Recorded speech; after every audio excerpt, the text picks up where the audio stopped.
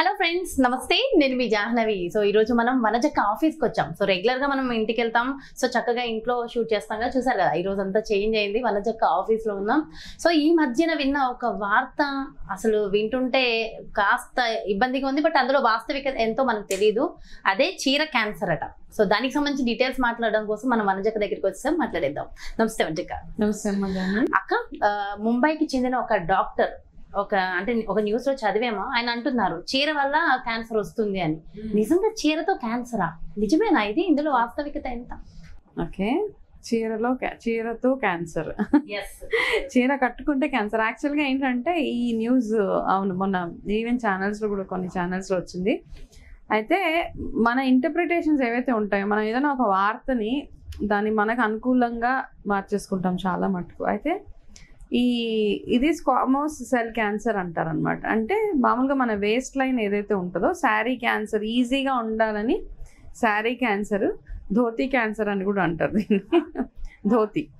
లుంగి కట్టుకునే వాళ్ళకి శారీ కట్టుకునే వాళ్ళకి వస్తుంది అని. అసలు బట్టలు వేసుకుంటేనే క్యాన్సర్ వచ్చేలా ఉందిగా. అది ఒక అంటే అవతల మనిషికి అర్థం అవ్వడానికి అలా దానికి అలా చెప్పారు కానీ చీర వల్ల మనకి క్యాన్సర్ వచ్చేస్తుంది అని మాత్రం కాదు. అయితే ఈ క్యాన్సర్ వచ్చే పర్టికులర్ ప్లేస్ ఏంటంటే నడుము దగ్గర.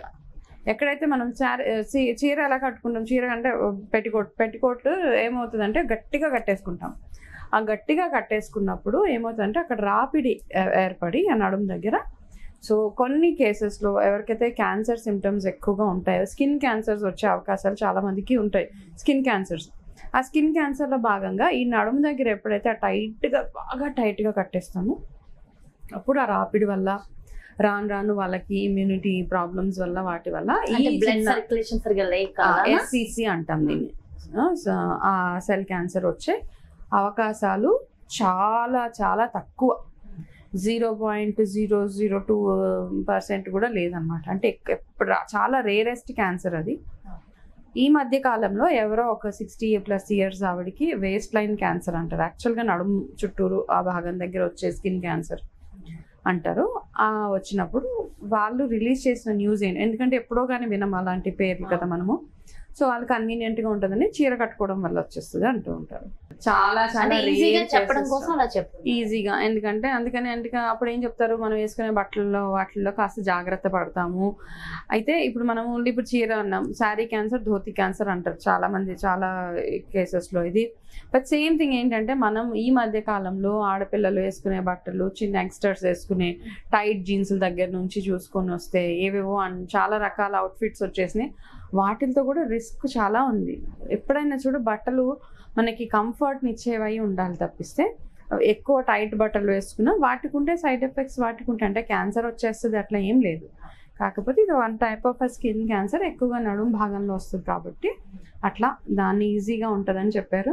అంతేగాని చీర కట్టుకోవడం వాడే. బట్టలకి వాడే మెటీరియల్ క్లాత్స్ కూడా చూసీగా లేకపోతే కూడా వస్తుంది అంటారు అంటే మెటీరియల్స్ వల్ల క్యాన్సర్? అన్నది ప్యూర్లీ మన ఇమ్యూనిటీకి సంబంధించింది కదా అది ఒకటి. సో ఎక్స్టర్నల్గా ఏదో మనకి తగిలో ఏదో అంటుకొని ఏదో క్యాన్సర్ వస్తుందా అని క్వశ్చన్ కాదు ఇక్కడ.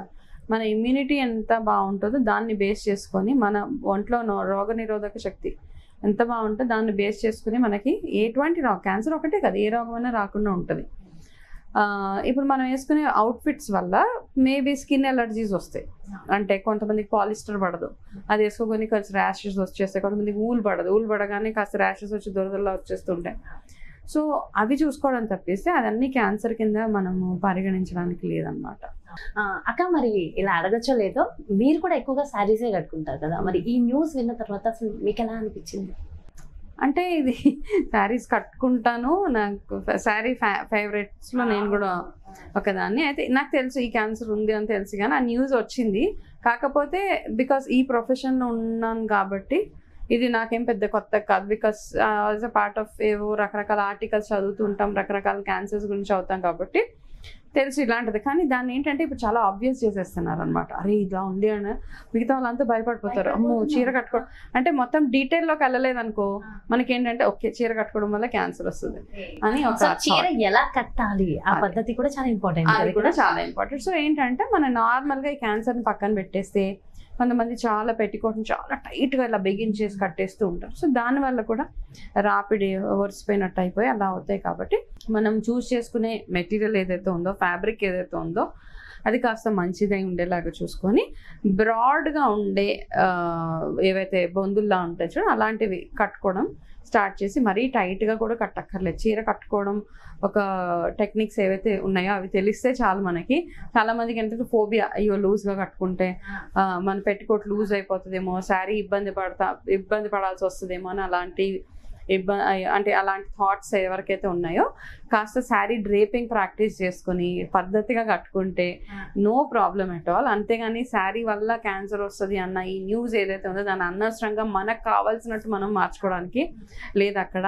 మన సాంప్రదాయం ప్రకారం చీరనే అందం కాబట్టి చీరలోనే అందం ఉంటది కాబట్టి ఆ చీర ట్రెడిషన్ ఏదైతే ఉందో దాన్ని చక్కగా ముందుకు తీసుకెళ్ళడం నిజంగా ప్రాపర్గా ఎలా ఉందో అది చూసుకుని మనం. ప్లాన్ చేసుకోవాలి. చీరలు లుంగీలు ఇవన్నీ మన ట్రెడిషన్స్ కాబట్టి మన ట్రెడిషన్ని మనం ముందుకు తీసుకెళ్ళడం చాలా చాలా important so news okay news వరకు అఫ్ కోర్స్ వేస్ట్ లైన్లో వచ్చేది కాబట్టి అలా చెప్పడం జరిగింది.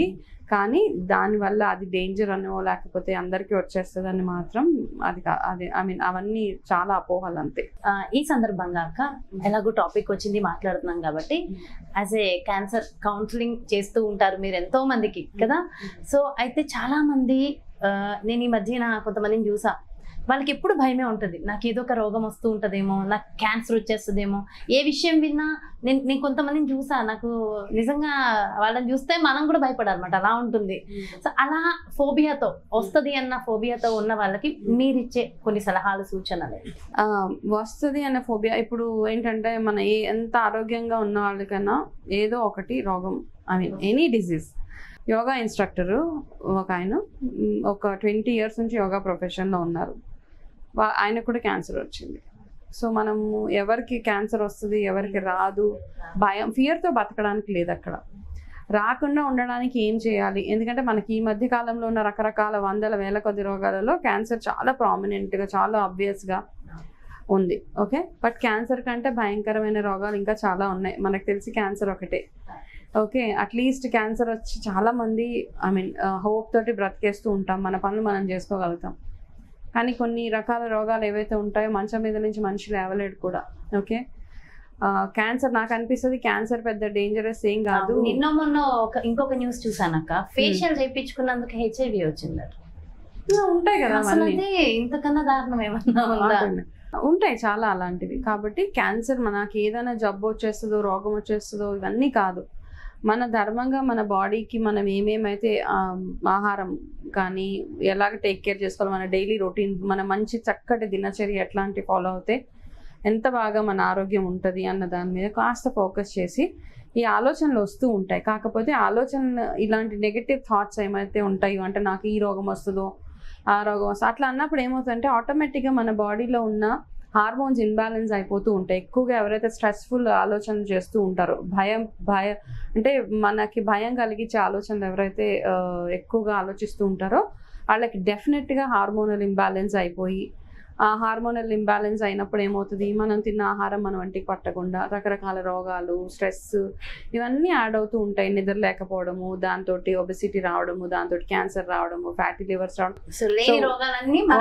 ఒకటి. లింక్ అయి ఉంటది కాబట్టి వచ్చేదాన్ని మనం ఏమి చే ఒకవేళ వచ్చేసింది అనుకోండి చాలా ట్రీట్మెంట్స్ ఉన్నాయి చేయించుకోవచ్చు రాకుండా చూసుకోవడానికి ఏమేం చేయాలో అవి చేస్తే సరిపోతుంది. వండర్ఫుల్ అక్క. చాలా చక్కగా చక్కగా కౌన్సిలింగ్ ఇచ్చారు. అంటే చాలా మంది ఫోబియా ఫీల్ అవుతున్న వాళ్ళకి. థ్యాంక్ యూ సో మచ్ వన్విక నమస్తే ఎస్ చూసారు కదండి? చీర. మరి చీరతో క్యాన్సర్ వస్తుందా? మరి వచ్చే సూచనలు ఉంటే ఎలా ఎలాంటి వాళ్ళకి చీర వల్ల క్యాన్సర్ వస్తుంది? అండ్ డీటెయిల్ ఇన్ఫర్మేషన్ ఇచ్చారు కదా. అదే విధంగా ఆ ఫోబియాతో బాధపడుతున్న వాళ్ళకి కూడా చక్కటి మోటివేషన్ చెప్పారు కదా. సో డెఫినెట్గా ఫాలో అయితే ఎలాంటి రోగాలు మన దరి చేరో ఒకవేళ చేరినా మనం బాధపడవలసిన అవసరం ఉండదు. మరి బ్యూటిఫుల్ కాన్సెప్ట్తో మళ్ళీ మీ ముందుకు వచ్చేస్తాను. మరి అలాగే ఎవరికైనా పర్సనల్గా కస్టమైజ్డ్ న్యూట్రిషన్ డైట్ కావాలి. వనజక్ అపాయింట్మెంట్ కావాలి అన్నా లేదా క్యాన్సర్ కౌన్సిలింగ్ కావాలన్నా సో వనజక్కని సంప్రదించాలి అంటే క్రింద డిస్ప్లే అవుతున్నటువంటి నెంబర్స్కి కాల్ చేయండి. నమస్తే.